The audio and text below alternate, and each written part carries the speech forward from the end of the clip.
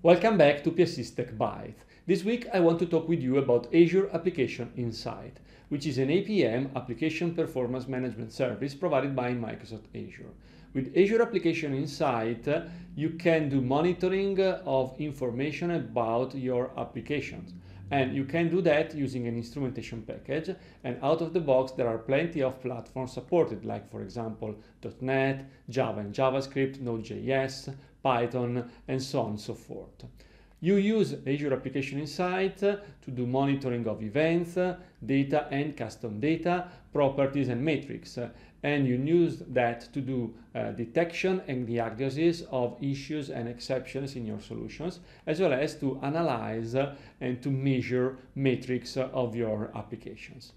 You can do monitoring of a bunch of information, including, uh, for example, exceptions that can occur during the execution of your code, as well as of custom events uh, to do proper custom monitoring of your solutions.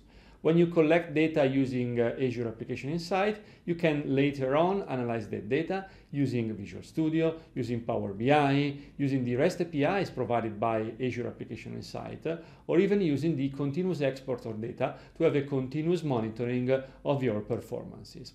So let's move to the demo environment and let's see how to use Azure Application Insight in a .NET solution.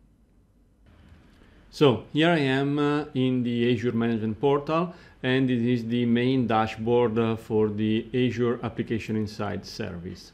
Whenever you access this page, you can see a bunch of useful uh, uh, statistics about the failed request, the server response time, the server request number, and the availability of your service of, or of your application.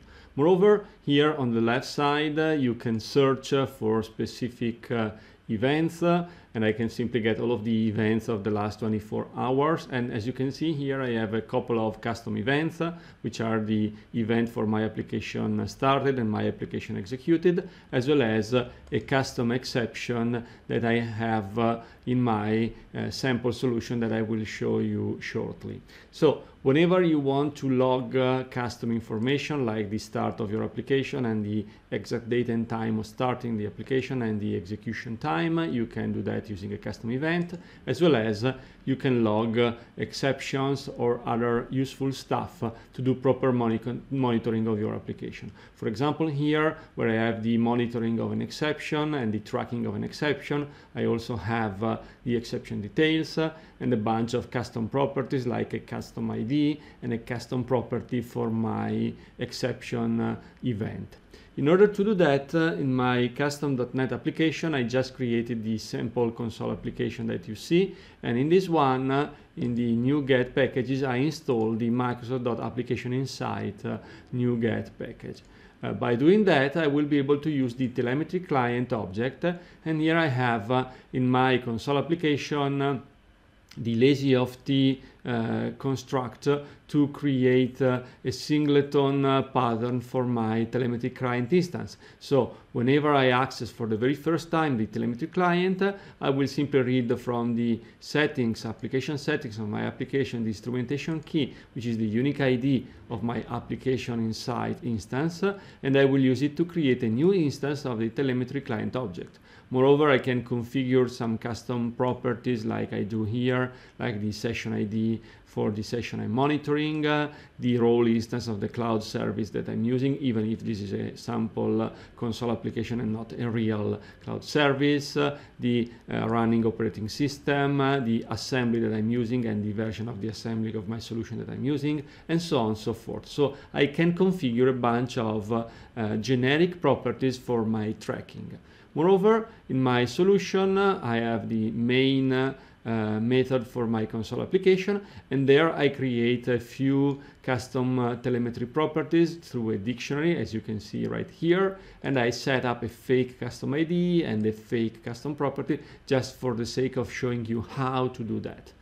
Uh, once I've done that using the telemetry client instance, I can track an event and I can provide the name of an event, which is, for example, the application started or the application executed or completed if I want to track uh, the performances of my application. But I can also call a fake failing method like I do here, in which I will simply throw an exception. And by throwing an exception in the catch constructor, I will simply log the exception through the application insight uh, uh, um, library. So I do that in the log exception method, and there I use uh, the telemetry client to track uh, an exception rather than an event. When I track an exception, I can provide the exception, a bunch of custom properties, which is my custom dictionary, as well as a bunch of custom metrics, which is still a custom dictionary of items with a name, with a key, and a double, double value for the metric that I want to store.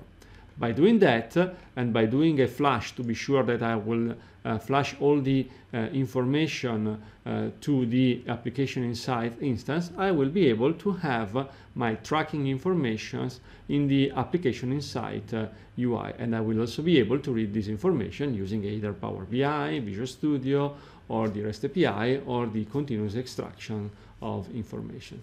This is really powerful and useful whenever you want to do proper monitoring and diagnosis of your uh, solutions. As usual, thank you for watching this video. I hope you found it useful and I'm really looking forward to seeing you next week. Thank you.